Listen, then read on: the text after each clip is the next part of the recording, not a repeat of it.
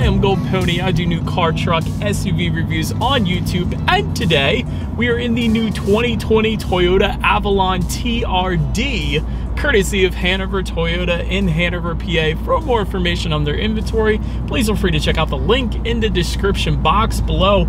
Really wanted to check this one out today because according to Consumer Reports, the Toyota Avalon does have well above average reliability, which is the very highest reliability rating given by Consumer Reports. But yet at the same time, this looked like an extremely fun car to drive. And typically those two things don't go hand in hand, so therefore I am in this one today. So what do you guys say? Let's just go ahead and jump right into it. And as always, let's start with pricing. And so the 2020 Toyota Avalon TRD will start at $42,300. There are a couple additional options that can raise that price a little bit more, like for instance, the JBL sound system that we have on this particular one today, which we will test out in a little bit. But other than that, that is gonna be the MSRP for this one.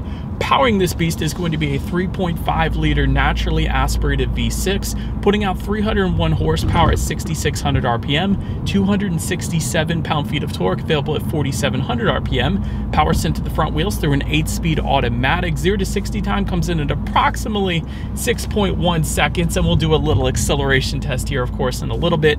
Top speed, 130 miles per hour, with MPG numbers coming in at 22 in the city, 31 on the highway, which actually is quite impressive when you consider the size of the Avalon. But either way, taking regular unleaded fuel or 87 octanes, that's going to save you a little bit of money there as well. But before we do an acceleration test and also a paddle shifter test, because we do have paddle shifters as well on this one, did want to mention there are some driving modes. And of course, those drive mode buttons are located directly behind the shifter, and they will include Eco, Normal, and Sport, adjusting things like the shift points, the throttle response, the steering sensitivity, and the climate control settings to a certain degree as well. For example, if you were to put it in Eco, it's going to dial back that climate control a little bit, so give you a little better MPGs. That's the trade-off, I suppose. But nonetheless, having now mentioned all of that, what do you guys say? Let's go ahead and find a straightaway. Let's do a paddle shifter test here first. And before we do that, I wanted to mention there is a full manual shift mode. If you simply slide the shifter to the left, that is going to display what gear you are currently in up on the digital portion of the gauges. And it is essentially going to give you full control over the shifting. So with that being said, what do you guys say? Let's test out the paddle shifters here first and let's see how quickly they are going to react for us here. All right, somewhat of a rolling start here, you guys, but here we go. Not bad. All right, it's not bad. There's a very slight delay, but really these paddle shifters are definitely not that bad. I have tested worse, so not the quickest things in the world, but they're not bad, like I said. So I am glad the Avalon has paddle shifters on it. If anything, you can use it for engine braking when it starts to snow out rather than traditional braking so you don't slide, but do like that they're on there. But to take it out of that full manual shift mode, simply just slide the shifter back to the right there. And that, of course, will give the Avalon back full control. And having said that, let's go ahead and do an acceleration test with the Avalon TRD having full control do have it in sport mode, so let's see how quickly this thing is going to get us here up to speed. All right, you guys, I think we have found our straightaway. Let's go ahead and come to a somewhat stop and the car coming up on us. Let's go. Whoa. Oh my goodness. Okay, surprisingly, there's no torque steer, which is kind of a concern of mine when I first went into this one because that's a lot of horsepower being sent to the front wheels. Well done, Toyota, for no torque steer. That was really, you could feel it in your gut. That was a really good acceleration for the Avalon TRD despite the size of this vehicle. So that was nice. I enjoyed that. But so anyways, to go along with that acceleration, as always, braking is equally important. So up front, you will find 12.9 inch power assisted ventilated disc brakes with dual piston front calipers. In the back, 11.06 inch rear disc. And by the way, there's a red painted front and rear calipers. I thought that was pretty cool as well. And in case anybody was curious, yes, they are larger front and rear brakes than your standard Toyota Avalon Avalon trim. So I did want to mention that as well. And overall, as far as the braking feel goes, it's been perfectly fine for me on my short test drive today. We'll actually say it feels a little bit on the softer side, but really, it's not bad. Certainly no issues for the Avalon for sure. But touching on suspension and handling, I first wanted to start by mentioning the Avalon TRD does have a 0.5 inch wider wheel and tire combination for enhanced grip. That is pretty freaking cool and 0.6 inch lower ride height as well. So definitely tuned for more aggressive handling, I will say that. But addition to that, 10% stiffer springs in the front, 15% stiffer springs in the back, stiffer anti-roll bars, revised non-adaptive dampers, and beefed up underbody braces as well. A lot of work went into making this car a much better handling vehicle. And despite all of those aggressive handling characteristics, ride quality is still actually very acceptable. I've had no issues with ride quality and I guess I'm coming from a lowered Mustang with larger wheels but still ride quality is perfectly fine in this Avalon TRD. So no issues for me at least when it comes to that. As far as the steering feel goes, it is actually quite nice in the sport driving mode. I will say that there is a noticeable difference between the sport driving mode and the other two. So if you did want a little heavier weighted steering feel, definitely put it in that sport driving mode because you can tell the difference. As far as cabin noise goes, it's pretty much as expected as I'm hitting a bridge right now. Really, it's pretty much as expected. It's definitely not the quietest ride in the world, but pretty much on par for the course, I guess you could say. But then touching on visibility, I can see perfectly fine out the back. Really with sedans, you're not gonna have any issues. And with this larger Avalon sedan, again, definitely not gonna have any issues there either. But that about rounds out the performance segment of this review, you guys. Let's now go ahead and take a look at the exterior of this brand new 2020 Toyota Avalon TRD. All right, so here she is, you guys, the new 2020 Toyota Avalon TRD. And yes, the TRD trim level does give you a whole lot of grille up front, which actually looks quite good in my opinion. One of those polarizing grills that you're either going to love it or hate it, and I actually love it. I think it looks really good. But anyways, let's continue up front here. Looking to the sides, you guys can see those air curtains just underneath the headlights. They are there to help direct air around that wheel tire combination, give you a little better aerodynamics there. Taking a look at those headlights, they are LED reflector headlights with smoked housings. They will of course come with the automatic feature, meaning when it starts to get dark out at night, they will turn on automatically for you there. LED daytime running running lights also coming standard with that. And of course, down below, you guys can see that piano black front splitter. That is going to tie in quite nicely with the front grille, in my opinion. But so anyways, now let's go ahead and make our way to the side of the Avalon TRD here. And so probably the first noticeable difference between the TRD and your standard Avalon is the TRD side skirts with red accents. That of course ties together with the front lip and continues onto the rear as well. But piano black window surrounds to go along with that. Piano black heated power adjustable side mirrors with integrated turn signals do come standard on this one. And taking a look down at the wheel setup, one of my favorite parts, 19 inch TRD matte black alloy wheels. They look amazing. They do come with a multi-spoke design and the TRD red emblem in the middle for the wheel cap. So it looks absolutely amazing there. Love the side profile to this one. But now let's go ahead and make our way to the back of the Avalon TRD. And so of course you will find that shark fin antenna up top, but just below that, a gloss black rear spoiler that is going to come standard on the TRD trim there. LED taillights actually come standard as well. There is some TRD badging back there, TRD rear diffuser, and you guys could see that along with how low and amazing this thing actually looks. But then to the sides of that rear diffuser, large catback dual exhaust outlets with stainless steel tips. They look absolutely amazing back there. But what's gonna make them even better, I think you guys know what we have to do next. As always, here is that exhaust clip.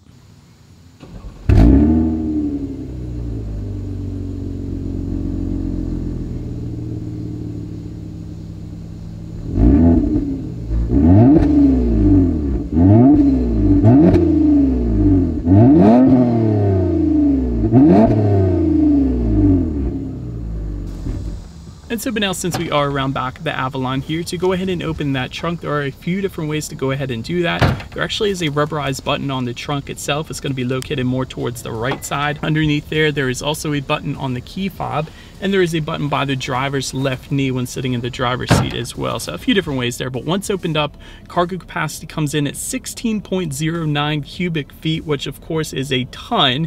And of course, this is a larger sedan, so that's pretty much as expected there. But if you needed even more space, there is a 60-40 split, meaning the rear seats do fold down, giving you a ton more space once again. So that's absolutely amazing. But so then making our way to the rear seats, let's touch on those 40.3 inches of rear legroom for reference.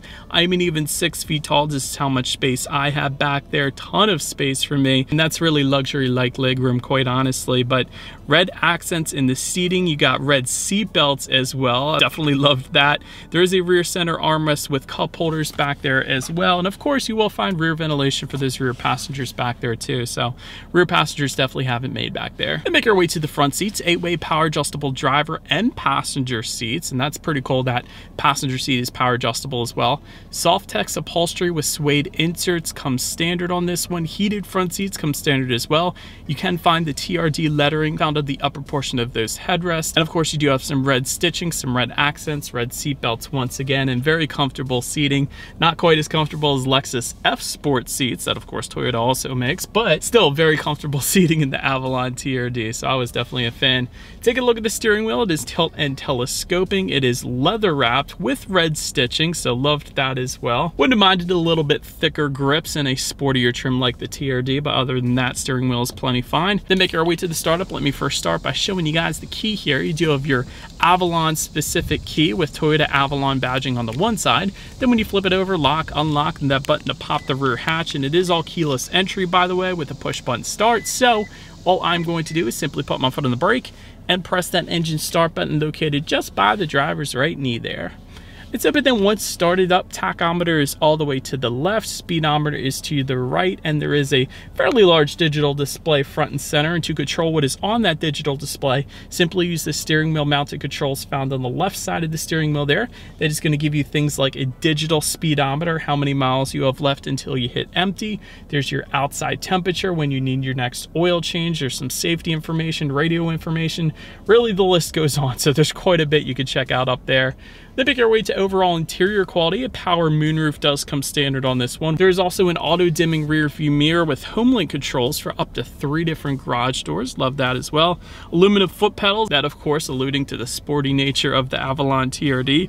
Aluminum trim accents also throughout this one, including the door handles on the doors, and it ties in together with the climate control just above the passenger side glove box there. And of course that red stitching continues from the seats onto the doors and above the glove box. And you do have a 12 volt power outlet just in front of the shifter there. And by the way, the shifter itself, I don't know if you guys noticed, you do have TRD etched into that shifter with a leather shift boot. That was pretty cool. And there are two cup holders just beside the shifter there. There's an electromechanical parking brake and an absolute ton of storage behind it all, including three USB charging ports within that center armrest as well, and a little tray area you can take out if you wanted to. So everything is very well laid out in the Avalon, but now let's go ahead and make our way to the tech display on this one. 9-inch colored touchscreen display coming standard Bluetooth audio streaming coming standard, Android Auto, Apple CarPlay as well, love that. And you can actually check out the weather forecast up there as well if you wanted to. There's also an eco button that lets you know your driving statistics, how many MPGs you're getting at any given time. That's pretty cool. And of course, you can check out your radio settings up there as well. And by the way, when it comes to the sound system, you will get eight speakers that come standard on this one. However, there is an optional sound system that comes with factory navigation, and that being the JBL sound system. And that is currently the one we have today, so I do believe you guys know what we have to do next. Let's turn on the radio, see what we got playing today, and let's test out the clarity of this one.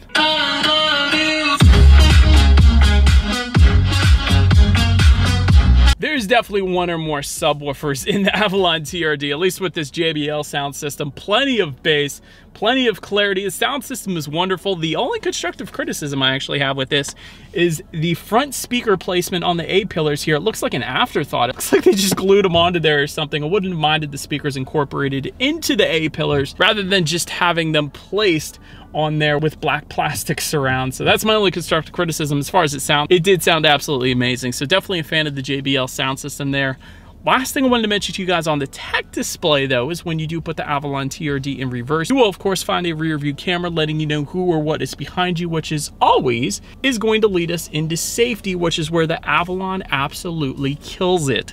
Top safety pick plus by IIHS to start, meaning the very highest safety designation given by IIHS. That's always a good start. Front side side curtain airbags, but also driver and passenger knee airbags as well. That doesn't come standard in every vehicle out there. In the back, of course, you got latch, aka lower anchors and tethers for children for the rear car seats, along with rear child door locks, tire pressure monitoring system, and Toyota Safety Sense as well, which includes a pre-collision system with pedestrian detection, lane departure alert with steering assist, automatic high beams, and full speed dynamic radar cruise control, which is amazing that it comes standard on this one.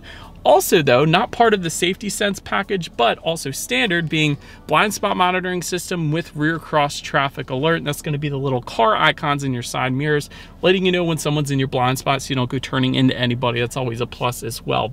But that is about it for this one. When it comes to my final thoughts of the Avalon TRD, definitely a very nice vehicle if you are looking for something a little bit on the sporty side, but also an extremely reliable family hauler. Because like I said, you got a ton of backseat legroom where you could fit really anybody. And again, well above average reliability, which is the highest designation by Consumer Reports. So you know it's gonna last 200,000 plus miles. And really when it comes to the TRD version of the Avalon, it's not necessarily faster or anything like that that. You do have a little bit better braking and you have a good bit better handling. So that's really where it's going to be worth it for you if you want to have a little more fun in the back roads driving home from work or something like that. But that is about it for this one, you guys. Thank you so much for watching. Feel free to follow me on social media at the bottom of the screen there if you like.